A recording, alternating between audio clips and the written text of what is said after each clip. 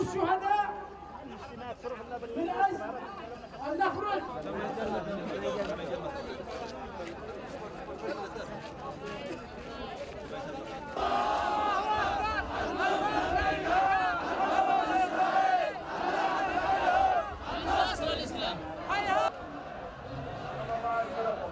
انت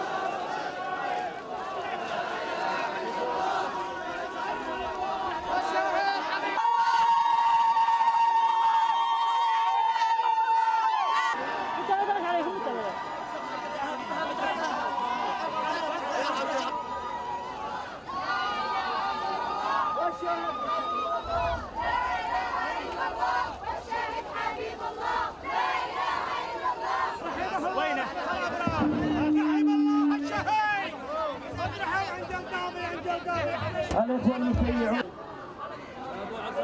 صاحب